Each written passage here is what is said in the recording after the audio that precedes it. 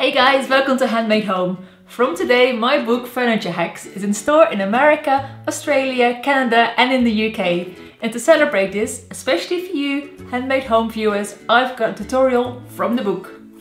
I'm going to show you how you can turn this massive stack of magazines into something useful for your home. So need a whole stack of magazines and do this as high as you want your table to be. Mine is going to be 30 centimeters. You need a spare piece of MDF and this is going to be the base of your table.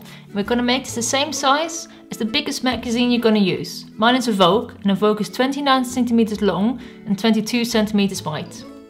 Place your magazine on top of the boot and trace. Now cut this to size. Sand away any of the rough edges.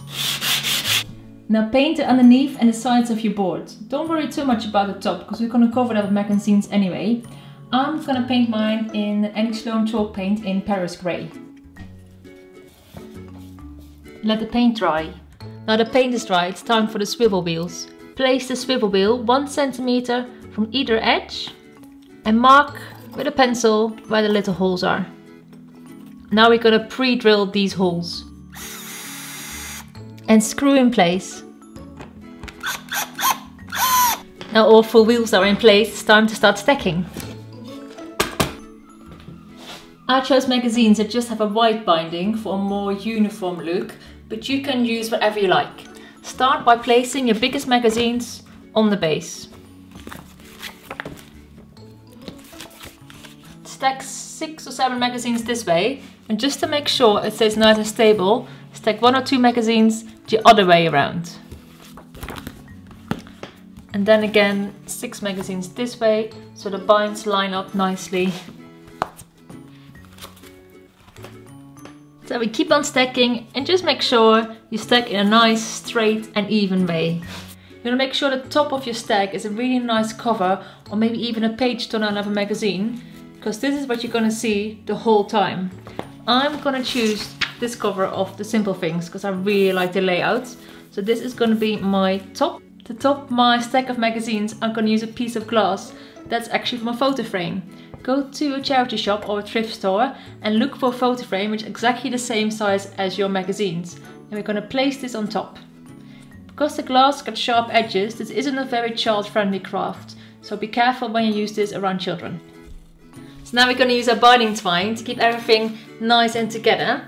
So we got underneath the table with a long length of twine and we're just going to wrap it around widthwise a couple of times. Then you're going to simply knot it in place. Do this as well here and here.